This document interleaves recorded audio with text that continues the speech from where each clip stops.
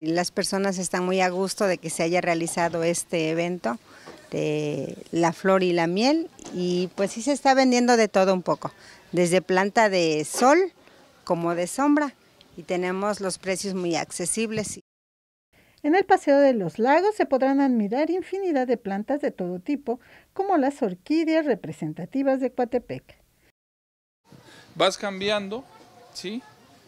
Cada año ese, ese tipo de reinas para tener buena producción de insectos y que vayas manejando la carga genética africanizada, la vayas minimizando y la carga genética europea la vayas recuperando.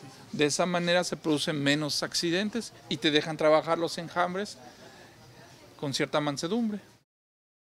En la Expo Flor y Miel de Jalapa 2022, la apicultura llama la atención al tener panales con abejas que realizan su trabajo ante los ojos de chicos y grandes, quienes asombrados preguntan sobre el ciclo de vida de estos incansables animalitos. Esta, por ejemplo, nace y a los 10 años le da la flor.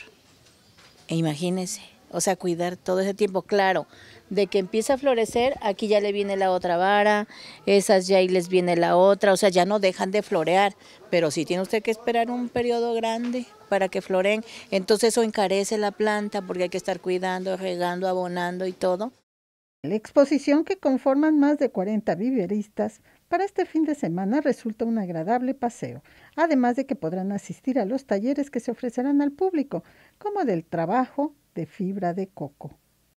La cáscara de coco considerado algo basura, pues nosotros en la plántula le estamos dando una segunda oportunidad de vida, ayudando un poquito más con el medio ambiente, ¿sí? Principalmente.